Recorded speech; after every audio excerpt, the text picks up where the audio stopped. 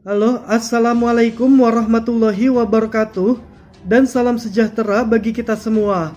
Kembali lagi dengan channel Guru Curcol ya Sobat Youtube. Apa kabar semua?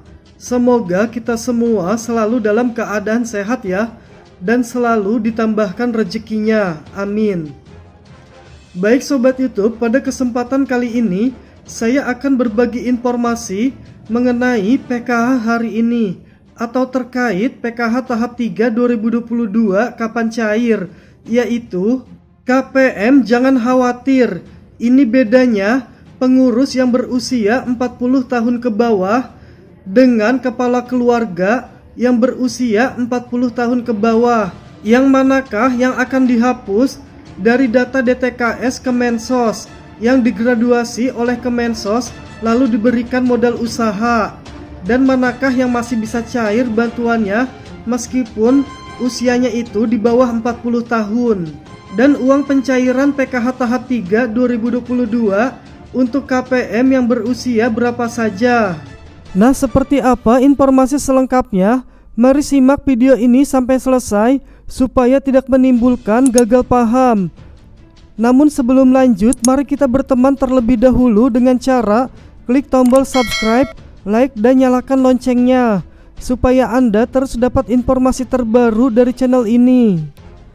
Baik kita lanjutkan info PKH hari ini selanjutnya penting untuk diketahui para KPM PKH dan BPNT bahwasanya seperti sudah kita ketahui bersama Menteri Sosial Ibu Tri Risma hari ini akan mengadakan perubahan besar pada penerima manfaat PKH dan BPNT Terutama ini untuk KPM yang masih muda-muda yang berusia di bawah 40 tahun. Misalnya saja berusia 30 tahun ataupun 20 tahun. Nah, kemudian umur 40 tahun ini berlaku untuk siapa saja? Apakah untuk kepala keluarga yang terdapat di kartu keluarga atau untuk pengurusnya yang terdapat di EPKH pendamping? Ini patokannya seperti apa? Apakah untuk ibu rumah tangganya yang menjadi pengurus yang namanya ada di kartu KKS atau untuk suami? Nah, alhamdulillah baru saja kami terima ini ada surat terbaru dari Kemensos yang mengatur masalah tersebut. Dalam surat keputusan dari Kementerian Sosial Republik Indonesia. Surat ini bernomor 101 garis miring HUK garis miring 2022 tentang pelaksanaan program sembako dan program keluarga harapan ataupun PKH dan BPNT. Jadi keputusannya yang terdapat dalam surat ini memuat tentang pelaksanaan program BPNT dan juga PKH. Nah, bagi kalian para penerima manfaat PKH dan BPNT ini mesti mengetahui aturan mainnya seperti apa, terutama untuk umur KPM yang berusia 40 tahun ke bawah atau yang masih muda-muda ini berlaku untuk siapa? Nah, dalam keputusan tersebut disebutkan ini mengingat dan memutuskan dan juga untuk menetapkan keputusan Menteri Sosial tentang pelaksanaan program sembako dan program PKH. Yang pertama atau yang ke satu menetapkan pelaksanaan program sembako dan program keluarga harapan. Kemudian yang kedua pelaksanaan program sembako dan PKH sebagaimana dimaksud dalam diktum ke-1 dilaksanakan berdasarkan pendekatan perseorangan ataupun keluarga. Kemudian untuk pelaksanaan program sembako atau BPNT dan program PKH sebagaimana dimaksud di dalam diktum ke-1 itu harus dilaksanakan oleh Direktorat Jenderal Rehabilitasi Sosial. Kemudian harus dilaksanakan juga oleh Direktorat Jenderal Perlindungan dan Jaminan Sosial dan juga harus dilaksanakan oleh Direktorat Jenderal Pemberdayaan Sosial. Jadi ada tiga direktorat di dalam Kemensos yang akan menangani program PKH dan BPNT ke depannya. Jadi ke depannya nanti itu akan dibagi oleh ketiga direktorat tersebut berdasarkan usia dari KPM PKH dan BPNT nanti akan dibagi menurut umur KPM PKH dan BPNT tersebut. Nah, yang umurnya nanti ada yang 40 tahun ke bawah, dan ada yang dibagi untuk usia 40 sampai 60 tahun dan ada yang untuk 60 tahun ke atas. Kemudian untuk Direktorat Jenderal Rehabilitasi Sosial yang dimaksud pada diktum ketiga ini harus melaksanakan program sembako dan PKH kepada KPM perseorangan atau tanpa keluarga. Nah, ini meliputi lanjut usia. Jadi yang dimaksud rehabilitasi sosial itu untuk kategori lansia yang tidak memiliki keluarga. Ini maksudnya untuk lansia tunggal, kemudian disabilitas tunggal, yang tanpa keluarga dan juga bagi anak-anak yatim atau anak-anak yang tidak memiliki keluarga. Kemudian untuk Direktorat Jenderal Perlindungan dan Jaminan Sosial, ini yang menangani program PKH sebelumnya. Nah, untuk ke depannya nanti, Direktorat Perlindungan Sosial ini akan melaksanakan program PKH dan BPNT kepada KPM yang kepala keluarganya berusia di atas 40 tahun sampai dengan usia 60 tahun.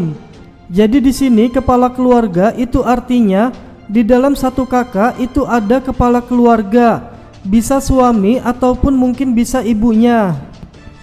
Nah, jadi yang 40 tahun itu adalah suaminya atau kepala keluarganya yang usianya itu di atas 40 tahun. Jadi kalau KPM tersebut misalnya saja pengurusnya itu ibunya atau istrinya itu umurnya 30 tahun akan tetapi suaminya ternyata sudah berumur 40 tahun.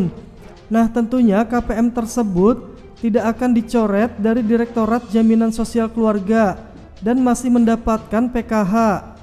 Kemudian informasi berikutnya untuk keluarga yang di dalamnya itu terdapat lansia atau disabilitas berat. Nah, ini artinya masih dapat uang bantuan PKH jika komponen yang ia miliki itu lansia, misalnya suami istri umurnya 40 tahun. Misalnya saja istrinya itu masih 35 tahun dan suaminya sudah 60 tahun. Nah, ini masuknya lansia tunggal. Masuk di dalam kakaknya, dia yang mengurusnya. Ini masih masuk di dalam program PKH. Artinya masih mendapatkan uang bantuan PKH meskipun istrinya itu berusia masih muda 35 tahun. Nah kemudian ini informasi yang paling ditunggu-tunggu oleh para KPM PKH dan BPNT Direktorat Jenderal Pemberdayaan Sosial sebagaimana dimaksud melaksanakan program sembako atau BPNT dan PKH kepada para penerima manfaat yang memiliki kepala keluarga berusia 40 tahun ke bawah. Jadi ini misalnya kepala keluarganya itu masih muda usianya masih 25 tahun atau 30 tahun atau 35 tahun. Nah, jadi bagi KPM tersebut ini akan masuk di bawah Direktorat Pemberdayaan Sosial.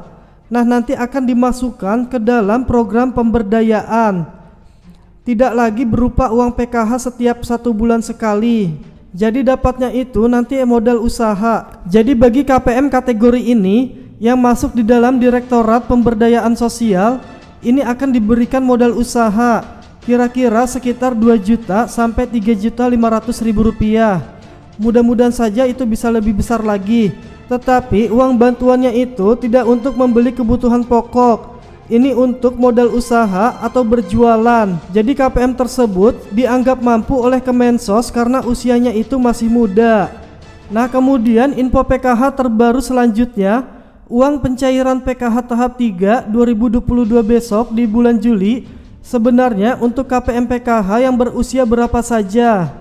Nah ini untuk pencairan PKH tahap 3 besok cair bagi KPM yang masih berusia muda pun ini masih dapat selama KPM tersebut belum dikeluarkan dari data DTKS Kemensos.